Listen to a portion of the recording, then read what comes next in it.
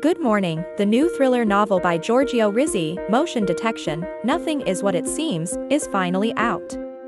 This book is sure to leave a lasting impression.